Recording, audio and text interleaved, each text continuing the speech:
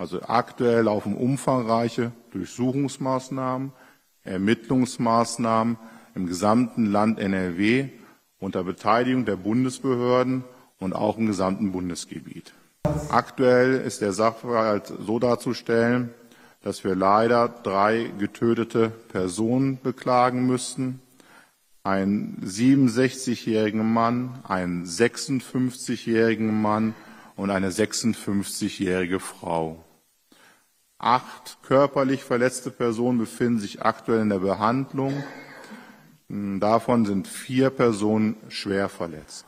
Ähm, in den frühen Morgenstunden gab es eine Festnahme eines 15-Jährigen. Aktuell wird er im Zusammenhang mit der Tat geprüft. Wir gehen im Moment davon aus, dass es ein Täter war.